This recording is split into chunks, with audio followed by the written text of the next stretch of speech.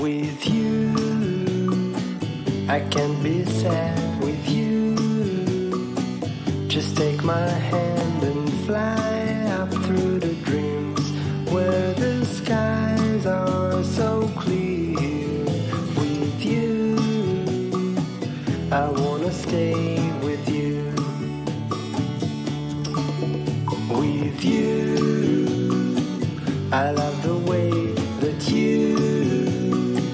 love me today. Let's run up through the fields where the sun shines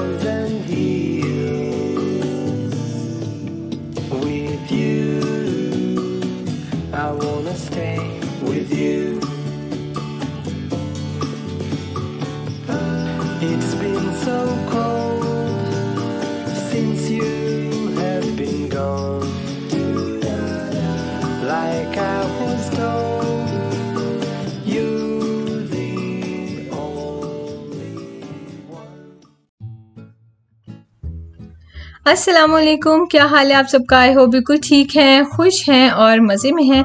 हम भी अल्हम्दुलिल्लाह बिल्कुल ठीक हैं और मौसम यहाँ पे हो रहा है ठंडा ठंडा और हम लोग बस दिन अल्हम्दुलिल्लाह अच्छे गुजर रहे हैं लेकिन बिल्कुल स्टिल से और क्या कहते हैं eventless if that's even a word उस तरह के दिन गुजर रहे हैं। तो एनीवेज आते हैं रेसिपी की तरफ़। मैंने सोचा ब्रेकफास्ट में कुछ डिफरेंट बनाती हूँ और रोज़ एक ही टाइप का ब्रेकफास्ट कर रहे थे हम लोग। तो मैंने यहाँ पे राइस पफ सीरियल बनाने का डिसाइड किया और उसके लिए मैंने ले लिए थे नट्स मेरे पास पड़े हुए थे बादाम और अखरोट और उसके साथ हेज़ल नट्स और रेजिन्स और क्रैनबेरीज तो क्रैनबेरीज तो मैंने यहाँ से लिए हैं, लेकिन रेजिन्स और ये बाकी सारे नट्स जो हैं, ये मैं सऊदी अरब से ही लेके आई हूँ। मैंने अपने लगेज में ये रख लिए थे तो यहाँ पे मैं ले आई थी। तो खैर, इन सबको हमने चॉप कर लेना है मोटा मोटा सा और बिल्कुल बारीक फाइन पाउडर हमने इसका नहीं करना। और इस रेसिपी की मज़े की बात यह है कि ये जस्ट ऑप्शनल हैं, ये ऑप्शनल हैं ये नट्स अगर आपने नहीं डालने तो आप ये स्किप कर सकते हैं बहुत ईजीली रेसिपी फिर भी टेस्टी बनेगी। देखें इस तरह के मैंने मोटे मोटे से चॉप कर लिए बाय द वे अगर आपको सिर्फ़ रेसिपी चाहिए तो आप मेरा channel N K R flavours आप उस पर जाके रेसिपीज़ देख सकते हैं। मैं ये प्रॉमिस नहीं करती कि सेम डे मैं वही रेसिपी वहाँ भी अपलोड करूँगी, लेकिन एक से दो दिनों में वहाँ भी वो रेसिपी इंशाल्लाह अपलोड हो जाया करेगी। तो जिनको जो है वो गपशप टाइप जो मैंने लास्ट टाइम पूछा था, जिनको वो पसंद नहीं है जस्ट रेसिपी चाहिए तो वहाँ से देख सकते हैं। और यहाँ पर मैंने तीनों नट्स जो चॉप करके रख लिए हैं और इनको मैं हल्की आग पे बगैर ऑयल के टोस्ट कर लूँगी। जब तक कि गोल्डन ब्राउन हो जाए उनकी अच्छी सी खुशबू आ जाए तो फिर ये सीरियल में बहुत क्रंची से बहुत मज़े के लगेंगे। तो कर लेते हैं हम इनको टोस्ट और आपको दिखाती हूँ मिशी मेरी जो हेल्प कर रहा है। हेलो मिशू। ओ बेबी कैसा है? बेबी की हालत ख़राब है? क्या कर रहे हो आप? नहीं इसको नहीं हमने छेड़ना। No. हाँ जी क्रैनबेरीज को कॉकरोच बोल रहा है। मैंने कहा है कि मामा के जो है ना वो काम ख़त्म हो जाएगा जल्दी से हेल्प करनी है तो उड़ के आया है जी। इधर देखो ज़रा। स्माइल दो वे आए आए। और ये क्या हो रहा है जी? ये मैं नट्स टोस्ट कर रही हूँ। ये ये भी हो गया है। अब इसको ठंडा कर लूँगी ये देखिए कितने प्यारा सा गोल्डन सा कलर आ गया और इनकी खुशबू भी बहुत अच्छी आ रही होती है जब ये अच्छे से भुन जाते हैं। तो मैंने इनको अब निकाल लिया है और एक बोल में डाल लिया है रूम टेम्परेचर पे लाने के लिए। मैंने सोचा कि इस वीडियो में ना पहले ये बात क्लियर कर दूँ। लास्ट टाइम जब मैंने ये ऑयल दिखाया था तो बहुत से लोग कह रहे थे कि नहीं, ये सिर्फ़ हेयर ऑयल है और इसको खाने के लिए नहीं यूज़ करते। तो ये जस्ट एक कॉमन ट्रेंड है असल में ये कुकिंग ऑयल है, ठीक है? तो सर में लगा लेते हैं तो कोई बात नहीं है, गलत बात नहीं है। लेकिन ऐसा भी नहीं कह सकते कि नहीं, ये तो सर में लगाने वाला ऑयल है, ये कुकिंग ऑयल नहीं है। Parachute coconut oil is a filtered edible oil और आगे उसकी इंस्ट्रक्शंस वगैरह लिखी हुई हैं कि कितने पे फ्रीज़ होता है और किस तरह से होता है। और ये एडिबल ऑयल है और इसको खाया जा सकता है। कुकिंग में आराम से इसको यूज़ किया जा सकता है। तो तो अब मैं ले रही हूँ कोकोनट ऑयल मैंने मेजरिंग स्पून यूज़ किए हैं। आप चाहें तो आप आम चम्मच भी यूज़ कर सकते हैं। सिर्फ़ बेकिंग रेसिपीज़ के लिए मैं स्पेशली आपसे रिक्वेस्ट करती हूँ कि मेजर करके बेक करें। अदरवाइज़ ये जो आम रेसिपीज़ होती हैं या कुकिंग की या वैसे ही इस तरह की इजी सी उसमें ज़रूरत नहीं होती। तो कोकोनट ऑयल डाल के मैंने इसके अंदर डाल दिया है पीनट बटर अगेन आप पीनट बटर को स्किप भी कर सकते हैं। लेकिन जिनको पसंद है, वो ज़रूर डालें। इसका बहुत ज़्यादा टेस्ट नहीं आएगा, लेकिन ये कि राइस क्रिस्पीज़ को एक डिफरेंट सा ये नटी सा फ्लेवर देंगे और बहुत मज़े का टेस्ट बन जाएगा। तो ये मैंने गुडी की यूज़ की थी क्रीमी वाली, आप चाहें तो आप चंकी भी यूज़ कर सकते हैं और अगर चाहें तो आप स्किप कर सकते हैं और सिर्फ़ कोकोनट ऑयल और हनी का मिक्सचर बना सकते हैं। हनी आप अपनी मर्ज़ी से क्वांटिटी डाल सकते हैं। मैंने जो स्टैंडर्ड क्वांटिटी यूज़ की है, वो मैंने मेंशन कर दी है। इसको बस हम एक मिनट के लिए माइक्रोवेव कर देंगे और फिर उसके बाद निकाल के इसको हम अच्छे से मिक्स कर देंगे। माइक्रोवेव करने से ये होता है कि जो पीनट बटर है वो ज़रा सॉफ्ट हो जाएगा और हनी की विस्कोसिटी थोड़ी कम हो जाएगी तो ये चीज़ें ईजीली मिक्स हो जाएँगी कोकोनट ऑयल के साथ। इसको अच्छी तरह से मिक्स करने के बाद फिर हम डाल देंगे इनको राइस पफ में और अभी हम नट्स वगैरह नहीं डालेंगे ताकि अच्छी तरह से सारी जो पेस्ट है ये राइस पफ के ऊपर कोट हो जाए और फिर उसके बाद हम नट्स वगैरह इसके अंदर डाल सकते हैं। और कोशिश करें कि ये जो आपने मिक्सचर बनाया है ये बहुत ज़्यादा गर्म ना हो, वरना राइस क्रिस्पीज़ जो हैं वो थोड़े से सॉगी हो सकते हैं। और यहाँ पर मैंने डाल दी है नट्स और साथ में ये मेरे पास पड़ी हुई थी क्रैनबेरीज और रेजन्स और ये भी मैंने इसके अंदर डाल दिए हैं और इसको बस हम मिक्स कर लेंगे और इतना ईजी सा सिंपल सा तरीका है। और इसका सिंपलेस्ट फॉर्म ये है कि आप राइस पफ जो हैं, उनके अंदर सिर्फ़ कोकोनट ऑयल और हनी का मिक्सचर बना के डाल दें और उसको भी आपको वही मज़ा आएगा। और ये एडिशनल लवाजमात अगर आप नहीं भी डालते तो ट्रस्ट में इतने मज़ेदार चीज़ बनने वाली है कि बस आपके ब्रेकफास्ट का ना ये एक रेगुलर हिस्सा बन जाएगा। और मज़े की वैसे बात यह है कि पीनट बटर और कोकोनट ऑयल की वजह से ये इतना सेशिएटिंग हो जाता है कि दोपहर तक भूख नहीं लगती है। और एक बोल में खा लेती हूँ और दोपहर तक मज़े से मैं, मेरा गुजारा हो जाता है। यहाँ पे थोड़े से नीम गर्म थे ये राइस पफ तो मैंने इनको डाल दिया है ट्रे में। दो ट्रेज में ये पूरे आए थे। और जब ठंडे हो जाएँगे तो फिर उसके बाद मैं इसको शिफ्ट कर लूँगी कंटेनर में। ये जो रेसिपी है, तकरीबन सेवन सर्विंग्स बनेंगी और इसको आप एयर टाइट कंटेनर में रख के स्टोर कर सकते हैं रूम टेम्परेचर के ऊपर अप टू थ्री वीक्स और वैसे तो खैर ये एक वीक से ज़्यादा बचेंगे नहीं, खाए जाएँगे, लेकिन खैर थ्री वीक्स तक आप रख सकते हैं क्योंकि एक आपको टिप देती हूँ। किसी भी चीज़ की शेल्फ़ लाइफ देखनी हो तो आप ये देखते हैं कि उसे फ्रिज में वो कितनी देर सही रहते हैं, उसके इंग्रेडिएंट्स इंडिविजुअली और फ्रीज़र में कितनी देर रहते हैं या रूम टेम्परेचर पे। तो इसमें जो है वो कोई भी चीज़ ऐसी नहीं है जिसको फ्रिज में रखना ज़रूरी है। Peanut butter coconut oil honey ये सब चीज़ें नट्स वगैरह, ये सब चीज़ें रूम टेम्परेचर पर ही पड़ी होती हैं। सो इसकी भी शेल्फ़ लाइफ इसीलिए ज़्यादा है। तो यहाँ पर मैंने ये देखें, इनको स्टोर करके आपको दिखा दिया था और अब मैं अपने लिए बोल बना रही हूँ।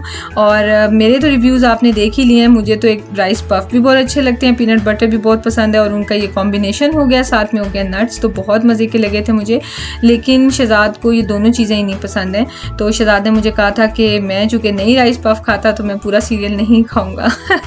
तो उन्होंने अपने कॉर्नफ्लेक्स खा लिए थे और मैंने ये देखें डाल लिया था इसमें दूध और ये बहुत मज़े के थे। अच्छा अब मैंने इसमें ठंडा दूध डाला है और वैसे तो कोकोनट ऑयल इतना थोड़ा सा होता है कि बिल्कुल फील नहीं होता कि वो जम सा गया है या गले में लग रहा है। लेकिन कई लोगों को हाँ ये प्रॉब्लम होता है कि वो ठंडा दूध और किसी तरह से घी अगर उनके अंदर इकट्ठा चला जाए तो गला उनका ख़राब हो जाता है। तो अगर आपके साथ भी यही केस है तो फिर आप रूम टेम्परेचर दूध डाल सकते हैं या नीम गर्म डाल सकते हैं। जैसे भी आप राइस सीरियल्स खाते हैं, उसी तरह आप इसे खाएँगे। और फिर मुझे बताएँ कि आपको ये कैसे लगे हैं।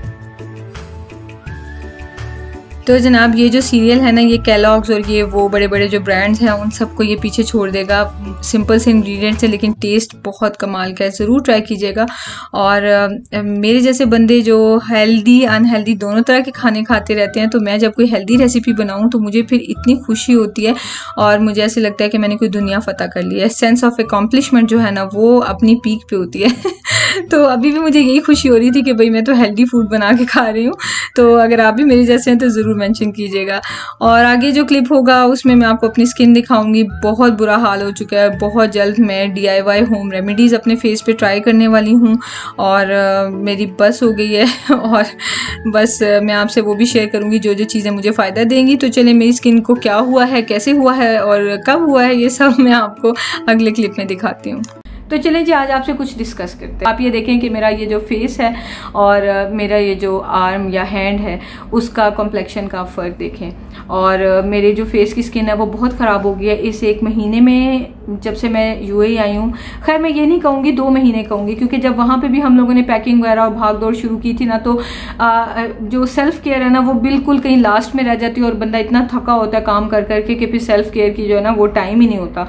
तो दो महीनों से मैं अपनी स्किन की केयर नहीं कर रही हूँ और एक्नी ब्रेकआउट इतना ज़्यादा हुआ हुआ है। लैक ऑफ़ स्लीप की वजह से ये देखें अंडर आई बैग्स बन गए हैं डार्क सर्कल्स जो है, वो फिर से ज़्यादा डार्क हो गए जब मैंने अपवर्क छोड़ा था ना तो डार्क सर्कल्स मेरे काफ़ी लाइट हो गए थे, खुद बहुत ही ना।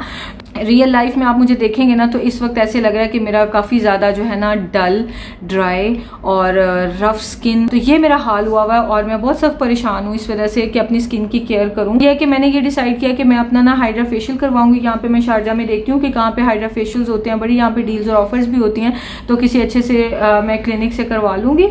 और अ, फिर उसके बाद आपसे रिज़ल्ट शेयर करूँगी। प्रोसेस पूरा अभी शेयर नहीं करूँगी क्योंकि मैं इस जगह पे नहीं हूँ मुझे नहीं पता कि वीडियो बनानी है नहीं बनानी। तो मैं प्रोसेस नहीं शेयर करूँगी लेकिन मैं आपसे रिज़ल्ट ज़रूर शेयर करूँगी। तो उसमें ये होगा कि जितने मेरे ये ब्लैक हेड्स हैं या एक्नी का प्रॉब्लम हो रहा है या ड्राई स्किन डल स्किन और ये जो बैग्स हैं आई थिंक ये सारी चीज़ें जो है ना आहिस्ता आहिस्ता कवर होने लग जाएँगी। तो या ये कि अंडर आई सर्कल्स जो हैं डार्क सर्कल्स ये भी कवर होने लग जाएँगे और स्किन का टेक्सचर और टोन और कॉम्प्लेक्शन जो है वो इम्प्रूव होगा। तो ये है मेरा अब आगे का इरादा। तो अब देखें कब जाती हूँ। इंशाल्लाह बहुत जल्दी देखूँगी कुछ। तो मैं अपने फेस पे लेमन लगाने खड़ी हो गई थी, लेकिन मुझे बहुत बर्निंग हुई थी, बहुत टिंगलिंग हुई थी, क्योंकि पूरा फेस ही जो है छोटे छोटे दानों से भरा हुआ है। तो डी आई वाई कोई आपके पास हैं होम रेमेडीज तो मुझे ज़रूर बताइएगा और मैं वो ट्राई करूँगी और आप सबसे भी शेयर करूँगी।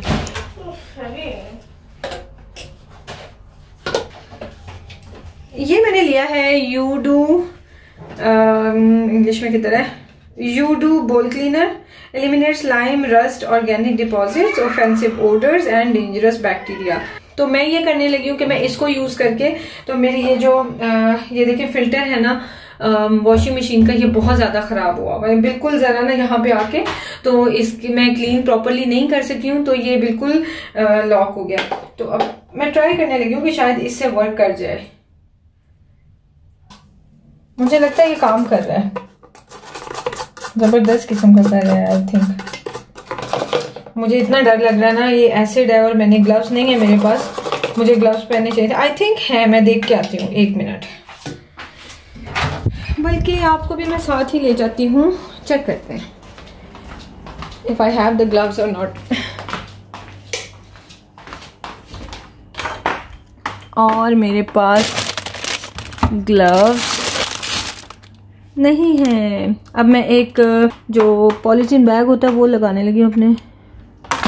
हाँ आई थिंक है मेरे पास ग्लव्स एक मिनट पहले तो नहीं है, लेकिन मेरे पास ना ये वाले ग्लव्स हैं।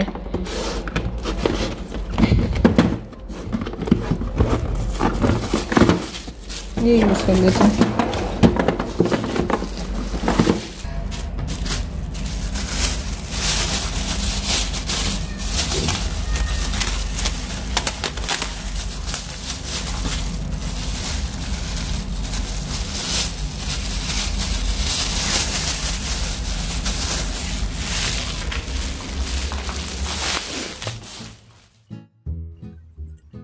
तो जो एसिड है ना, वो मैंने कॉन्सेंट्रेटेड फॉर्म में ही डाल दिया था इसके ऊपर और पाँच से दस मिनट पाँच तो नहीं, दस मिनट के लिए इसके ऊपर लगा रहा था। और उसके बाद आप ये देखें कि मैं ज़ोर से इसको टैप करती हूँ सिंक पे। तो जो लाइम स्केल जो उसके होल्स में फंसा हुआ है ना, वो थोड़ा थोड़ा सा हुआ है डिज़ोल्व तो वो फिर इस तरह से ग्रेन्स की फॉर्म में बाहर निकल रहा है। और जो होल्स हैं, वो खुद ब खुद क्लीन होते जा रहे हैं। तो ज़्यादा ज़ोर से भी नहीं आपने टैप करना, क्योंकि जो मैंने, पहले मेरे पास इसका फ़िल्टर होता था वॉशिंग मशीन का सेम तो वो टूट गया था सेंटर में से ना। तो इस वजह से मैं ज़्यादा ज़ोर से अब टैप नहीं करती। बाकी ये कि अगर आपने भी ये टिप फॉलो करनी है तो आप ये देख लीजिएगा कि जो एसिड है वो प्लास्टिक को अफेक्ट तो नहीं करता, क्योंकि जो नॉर्मली बाथरूम के लिए एसिड्स बने होते हैं ना, वो प्लास्टिक को अफेक्ट नहीं करते। वैसे तो मैं एक साइंस स्टूडेंट हुआ करती थी और केमिस्ट्री भी मुझे आती थी, लेकिन अब मुझे ये कहते हुए बहुत अफसोस हो रहा है, शर्मिंदगी हो रही है कि मुझे कुछ याद नहीं है और मुझे ये भी लॉजिक भी मेरी काम नहीं कर रही है वैसे कि एसिड जो है नॉर्मली प्लास्टिक को अफेक्ट करता है या नहीं करता।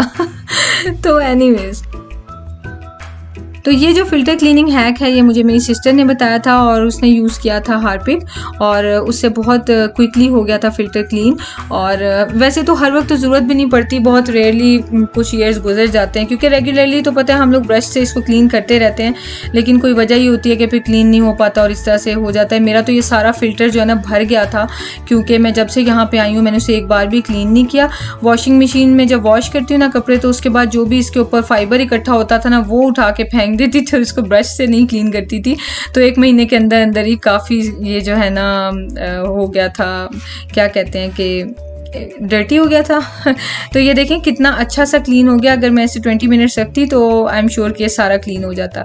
तो अब मैंने इसको वापस फ़िल्टर को लगा दिया है और एक मैं जो है वो क्लीन टब का ऑप्शन है, उसको क्लिक कर रही हूँ। अदरवाइज़ वैसे ही एक दफ़ा खाली बगैर सर्फ की मशीन का साइकिल चला दें तो एसिड निकल जाएगा सर तो वो इन दोनों के करवा दिए इधर आओ दोनों इधर आओ इधर आओ इधर आओ। ये अच्छा अच्छा हेयर स्प्रे है टेम्परेरी है ना? टेम्परेरी हेयर स्प्रे नहीं परमानेंट नहीं है नज़र ही आ रहा है हेयर स्प्रे है। कलर लगाया। बेबी ने देख स्प्रे है पता ही चल रहे थे हमें वो सारा फोरहेड पे भी गिरा हुआ है। लेकिन मेरे बाल इतने अच्छे लगते हैं। हाँ हाँ। मिशो आप भी दिखाओ। ठीक ठाक। भी देखो। तो चले चलते हैं चिकन को मैरिनेट करते हैं। कल जो है हमारी एक है पार्टी बारबेक्यू तो उसमें मैंने भी लेके जाना है। तो मैं लेके जा रही हूँ थ्री के जी चिकन और इसको बनाते हैं और फिर आपको दिखाते हैं। मैं लाइट्स वगैरह ऑन कर लूँ और इसकी मैरिनेशन करते हैं स्टार्ट